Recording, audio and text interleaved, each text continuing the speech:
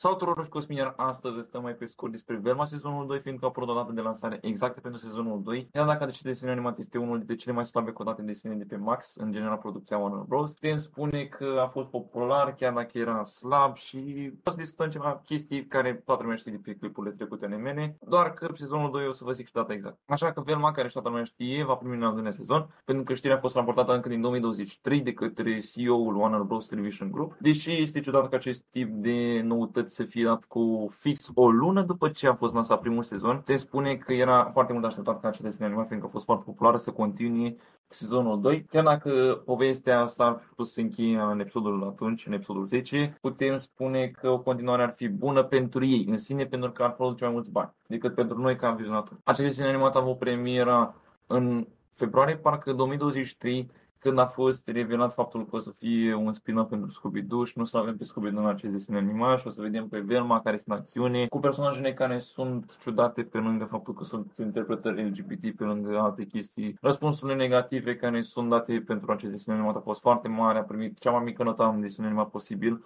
din ultimii 20 de ani. Totuși, primul sezon a fost cel mai vizionat desen de debut de pe HBO Max, fiind locul 1 timp de două luni la rând. Deci este foarte bun pentru a face multe vizionări în ceea ce privește Warner Bros. și cu HBO Max. Atunci a fost și treaba aia cu Discovery-ul și încă continuă treaba aceasta și de acolo ne dăm seama că nu prea a evoluat acest conflict față de animatori și David Zaslav, dar totuși sezonul 2 din acest desen animat să apară pe 25 aprilie 2024 pe Max în premieră cu un episod pe săptămână. Ei bine, aici încheiem clipul la pe care l-aveți despre acest sezon 2 din Velma. Crezi că o să fie o poveste mult mai bună sau a fi tot la fel de slabă ca sezonul 1? Trebuie să am comentat părerea voastră, iar noi ne urmăm la clip. Ceau!